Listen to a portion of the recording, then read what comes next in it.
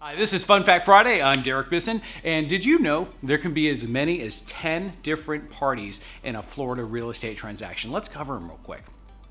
Buyers and sellers, of course, realtors, your lender, title insurance company or title law firm, real estate appraiser, property survey company, home inspector, pest inspector, insurance agent, and of course the state of Florida in the form of document stamps, intangible taxes, and deed stamps.